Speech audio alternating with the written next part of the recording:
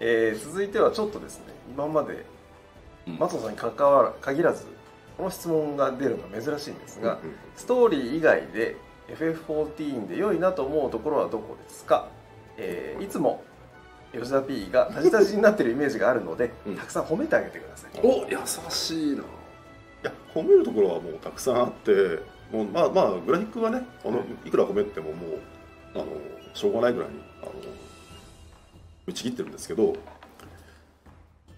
あのまあそうストーリーになっちゃうのかな。あのユシュガルト編をその3.55まで通して、えー終わって、まあ、評価をあの再評価した時にあの最初に見た時かな。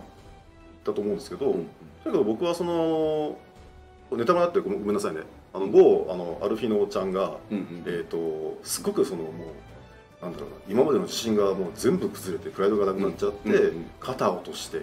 でその自分がいかにダメだったかってことをこうとすとと語るシーンがあるんですね、もう負けになったシーン、うんうん僕あのシーン大好きで。うん。